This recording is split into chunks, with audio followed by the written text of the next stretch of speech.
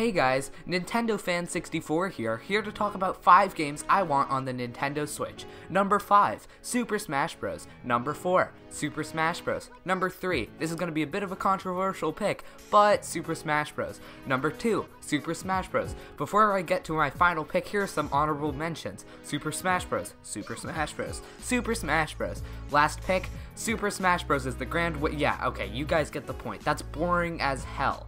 Obviously, everyone wants Smash, Mario Maker, and, and all those games to come on over to the Switch. But there are a ton of amazing games that should come over that no one's really talking about. So here are three really good games that should come over to the Switch. First up, we have Battleheart 2. So, in order to understand Battleheart 2, you're going to probably have to understand Battleheart 1. Battleheart 1 is a mobile app by Mika Mobile, which is probably my favorite mobile game developer of all time. Also, probably my favorite indie studio of all time. These guys are so nice. I mean, here's one story that just proves how awesome they are. So they ported one of their best games, Zombieville USA 2, over to Android, and they didn't want people who have already bought their game on iOS to have to buy it again on Android. But however, there's obviously no way to check if someone's bought it on iOS and, and then like bring it over to Android like that's that you can't do that. So instead of just screwing over the like maybe 1% of people who already bought the game on iOS and still wanted to buy it again on Android, they just made it free on Android. I mean, that's just like you never see that now in the industry, and it's just so nice to have a company that's just just such an awesome. I mean, they're just really the best. So anyway, Battleheart 1 was probably my favorite mobile game from the years of like ever and ever. It's so good. It's kind of an RPG style game where you craft a party of four and gotta kill out all the enemies. It's got a ton of replay value and all that stuff. But then, Battleheart Legacy. This game's awesome. It's probably one of their best games to date. However, it's not a true sequel to Battleheart, and I mean, it's awesome, but I, I want a Battleheart 2 so bad.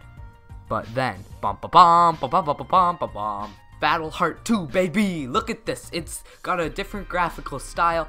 It just looks amazing. There's gonna be so much content. They've been working on this game for over a year. I mean, just look at this. Look at it. It's so good. However, I asked them, yo, you gonna bring this game to the Switch? no, we're not gonna bring this game. Why? Why? Why would you not bring this game to Switch? Turns out they asked Nintendo for a dev kit for the Switch, and Nintendo just, just didn't even respond. What the fuck? I mean, they're so good, and I really, really want this game to come over to the Switch. And I know, I, if I was like a big YouTuber, I'd be like, start like a hashtag or something for people to petition Nintendo. But two things: one, when has Nintendo ever listened ever? and two, I'm not a big YouTuber, so this that won't work. But like, come on, Nintendo, really? They let so many dick mobile games come over to the Switch, but one amazing mobile game that's trying to come over isn't allowed. Like, what the hell? Anyway, if Battleheart 2 can come to Switch, I haven't even played it. It's not even out yet, but if it can come to Switch, oh my god, I'd be so happy. Game number 2 is The Adventures of Pip. So, yeah, this is a bit of a weird one, and I never thought I'd say this, but we need more 2D platformers on the Switch. Obviously, we're getting Kirby and Yoshi later this year, which will help fill that 2D platforming void in my heart, but like, come on, Nintendo! They're known for 2D platformers. We just get swarms of them before, but now on the Switch we barely have any. Obviously, there are a bunch of indies that kind of help fill that role, and that's what I think this could be, but like, once again, come on. Anyway, side tangent over, what is The Adventures of Pip? Well, it's an amazing 2D platformer which has one of my favorite gimmicks of all time. You switch your resolution in order to solve puzzles. That's right, you can be 8-bit, 16-bit, 32-bit, wait, that's not true. I don't know, you go from this to this to this. I don't know the exact resolutions, but it's it's really fun. And it helps you solve puzzles too. For example, the block can just jump higher, but the middle one can wall jump. It, it It's really a brilliant idea.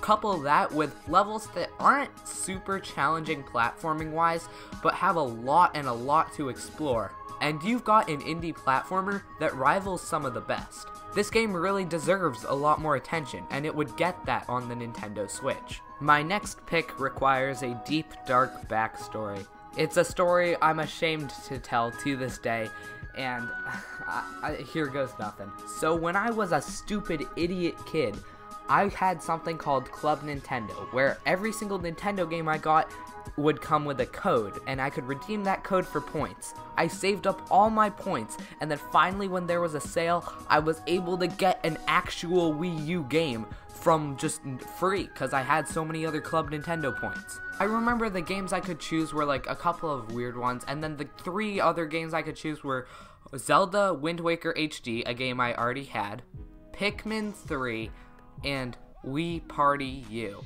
So, like a stupid idiot kid, I chose Wii Party U over Pikmin 3.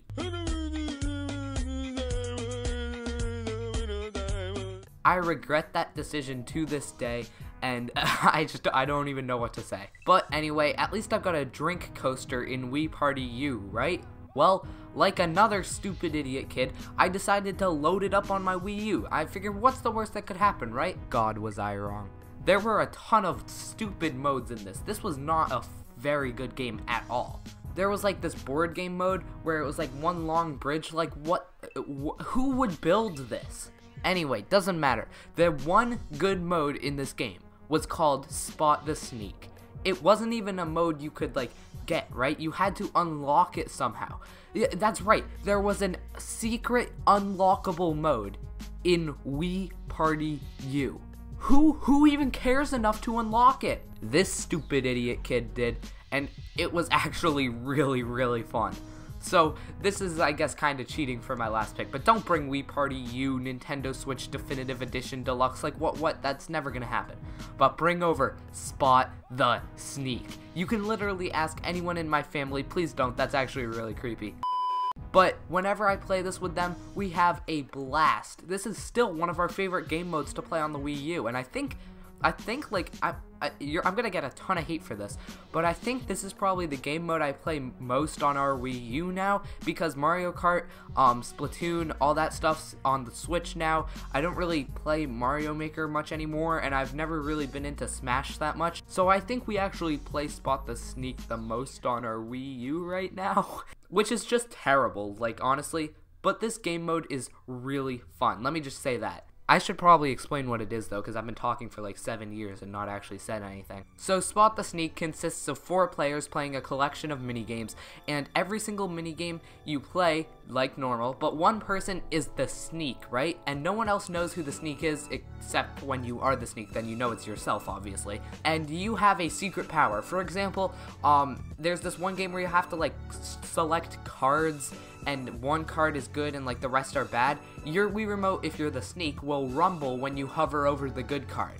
It, it's basically like hacking. So you play the games like normal, right? Except the sneak can obviously easily win every time if they use their powers. However, you're not going to want to just win every time on purpose because at the end, you vote on who you think the sneak is.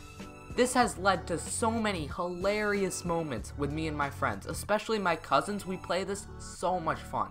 Anyway, I know that's like not really a game, that's just like a mode in one kind of bad game, but trust trust me, this is a really fun mode, and if they could bring this over to like maybe the next Mario Party, oh my god, my life would be completo. Anyway, this was just a very laid back video. I kind of rambled like for way too long. If you're a new viewer, this is not normally what my channel's like. I just wanted to make videos about each three of these games individually, and then I finally found a way to link them all together, so I thought this would be fun. Anyway, thank you guys so much for watching. Let me know if you've played any of these games because I'm pretty curious. If anyone else has played Spot the Sneak, let me know.